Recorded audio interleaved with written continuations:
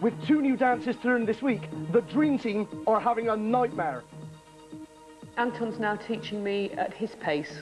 He's just charging through it. And uh, one, two, three. Just keep up, keep up. Come on, just follow me, follow me. Don't ask anything. Just do it, do it, quick. But they just seem like random steps to me. Stop talking to us about. I don't know the steps.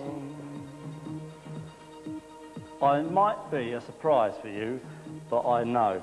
I'm 49 years old, dancing against people who are 28 and 30. I've no idea what you want me to do.